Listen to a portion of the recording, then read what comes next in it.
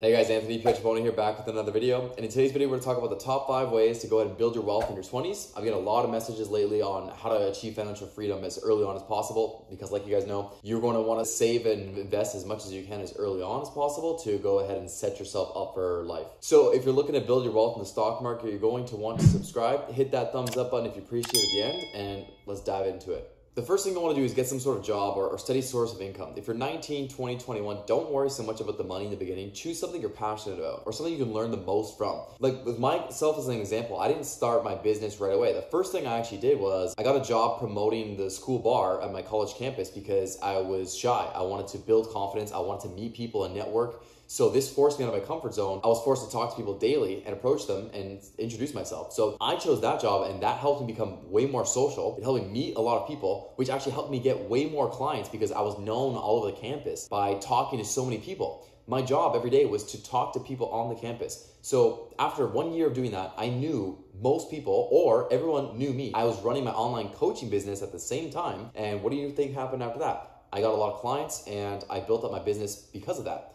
With the promotions job, I was making about $1,000 a month. But with my business, while also in school, I was making another one to $2,000 a month. And this was just a job experience. I was able to go ahead and network. That was a huge game changer, a stepping stone that I implemented when I was just 19, 20 years old. When you're in your early 20s, focus on an income source that's going to give you the lessons that you need to propel you into the future so that way you're able to take those lessons and earn more later on.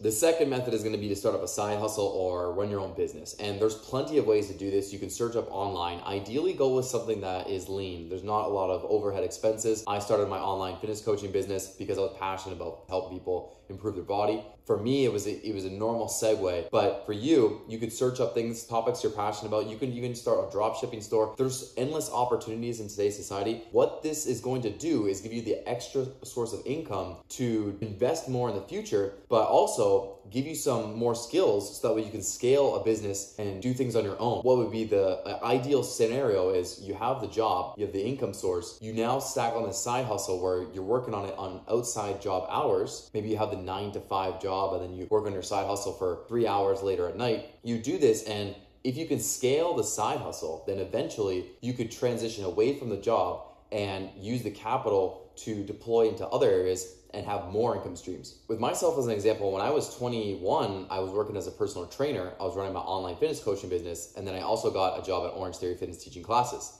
Then I dropped the job as a personal trainer, and then I ended up training people in their house as another source of income. So I was training people in their house, earning one to two thousand dollars a month. I had a job at Orange Theory Fitness, earning another two thousand dollars a month, or sometimes more. And then I also ran my online fitness coaching business, which was the largest income source that was earning me anywhere from $4,000 to $5,000 in the beginning. And then what happened was I ended up scaling that over the next one, two years and getting that to over $10,000 a month. Still keeping the job, earning $2,000 a month, and still training people in their house, earning another $1,000 a month. Now, bonus tip here is to have the flows actually mesh because when I was training at Orange Theory Fitness teaching classes, I was meeting people that needed help with nutrition. I was getting new prospects and new clients from my job. So the job was feeding the income for the business, as well as the other side hustle of training people one on one in their house. The third thing you're going to want to do is take risks. Don't avoid risk in your 20s. There's plenty of time to catch up if something does go wrong. But I can't stress enough how important it is to take risks as early on as possible. You learn so much from them and they shape you as a person. My risk that I took was I was in school for human kinetics, basically kinesiology,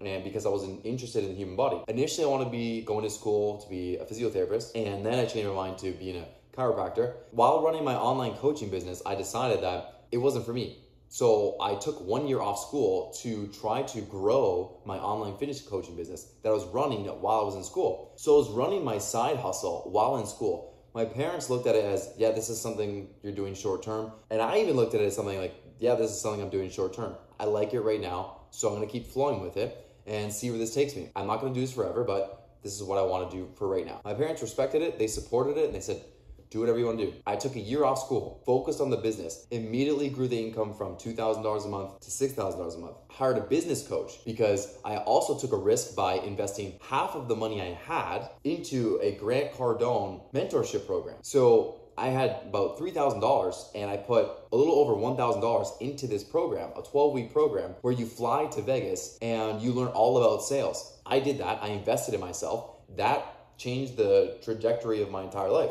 that kind of risk, taking the time away from school, paying for a mentorship program, getting guidance, learning from the best, those two risks combined built the confidence in myself and helped me meet new people that would help me bet more on myself to take it to the next level. And without those risks, I could have finished school, had a job, and definitely would not have been where I am today. So I'm really thankful that I took those risks when I was 20 and 21 years old. The fourth thing you want to do is invest. This could be stocks, this could be crypto, this could be real estate. If you're just starting out, definitely look into investing into stocks, mutual funds, ETFs, diversified funds that average anywhere from a 10 to a 15% return each year. When it comes to investing, those who can delay gratification the longest win in the long run. So you have to really focus on, hey, I'm doing this to improve my future. So let's put as much money as I can into investments because I know in 5, 10, 20 years, this amount is gonna be much larger. Now, you can also invest in crypto. Personally, I like to only invest into Bitcoin or Ethereum. You can do lots of research on crypto and do your own investments and hold them for long term. But in my opinion, I like to only look at Ethereum or Bitcoin. And for stock market investing, if you're just getting started, you're going to want to just stick with the ETFs or, or diversified funds. We're talking about investing in the NASDAQ or investing in the Dow or investing into technology funds. There's a lot of different options. And if you have any questions on that, just leave in the comments below and I can make future videos on what kind of stocks or what kind of funds to possibly invest in. But for now, do your own research and you can find basically everything you need to know on YouTube. Now, let's not forget about real estate. You're going to want to do some sort of house hacking or buy a duplex if you know you're going to live in a certain area for the next three to five years at least. What's so game changing about this is you get to leverage your money. If you're in the US, you can use a 3.5% down payment. So if you're looking at a $500,000 home, that's just going to be about $18,000 and you can use that amount to own and control a half a million dollar asset where real estate can appreciate 5%, 10% some years. So you're looking at at least $25,000 a year in appreciation if you buy the right home. And because when you do that, you buy that home, you get involved into it, you can rent out another unit if there is a duplex, you can rent out a bedroom to a friend and you can have that payment actually pay for your mortgage or pay for most of your living expenses. In some cases, you can get the full mortgage and any any taxes paid off with the rent where all the appreciation is, is gravy and that rent is paying down the mortgage. So this is a huge, easy way to start investing because if you think about it, you're using $18,000 down of your own money and you're controlling the half a million dollar asset where you're living for free or you're paying a little bit in bills. Let's say you lose $500 a month for living expenses. Well, you only lost $6,000 in one year. And you would have lost that anyways if you were renting somewhere else. You would have lost even more, actually. But the house also appreciates at $25,000 a year. Well, now your gain each year is $19,000. That's a 100% return on your money every year. And the house appreciates even more in the future, so it'll grow to even more returns over the years. The fifth, final, and most important of all five to make sure that we actually get wealthy in our 20s is to live like you're broke. This is a hard one. Whenever we increase our income, we're so tempted to also increase expenses. The more money we make, the more we change the way we look at things and the things we actually look at. So we buy more expensive things. It's called lifestyle inflation. And it's actually very hard to suppress. If you can increase your income while keeping your expenses the same, you have a much larger cushion to put into investments and think of that as fuel on the fire to speed up the process so that way you don't have to wait nearly as long to have all your desires. The way I do it is I look at how much money I have invested and I look at the cost of whatever it is I want to buy. And I say, how much money do I need to have invested for the investments to actually go ahead and pay for this thing that I want to buy. And if I can do that, then I go ahead and make the purchase once I get to that level. Clear example, easy example for me is with my car. I bought the Tesla Model S, the long range refreshed version, and in Canadian dollars, after all the tax and everything, it came to $140,000. I made an agreement to myself earlier on that I would wait till I have 10 times the money invested and then I changed that to 20 times the money invested. So now once I have 2.8 million, I'm able to buy the car.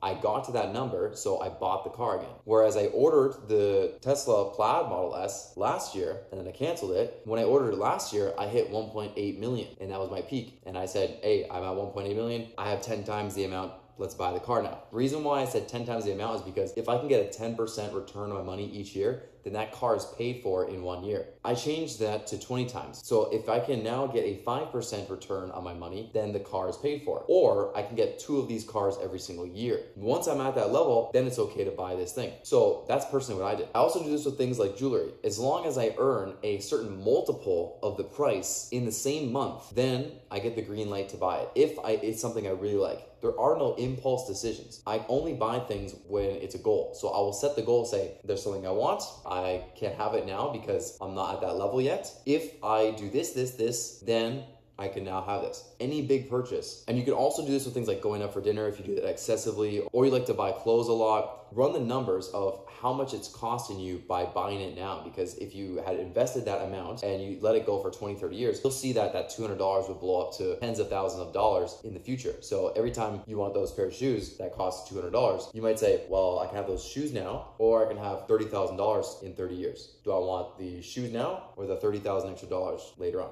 Once you do that enough, you'll brainwash yourself to really be a little more frugal. I'm not saying go completely frugal. The goal here is to just refrain from having having your income go up from 50,000 to 100,000 and then increasing your expenses from 40,000 to 80,000 because that happens far more common than you think and it's something you want to keep your eye on. Those are my top five ways to build wealth the fastest in your 20s that have helped me achieve financial freedom and become a multimillionaire by 25. If you appreciate the video, give it a thumbs up, comment down below which was your favorite of the five. Thanks so much for watching and I'll see you in the next video.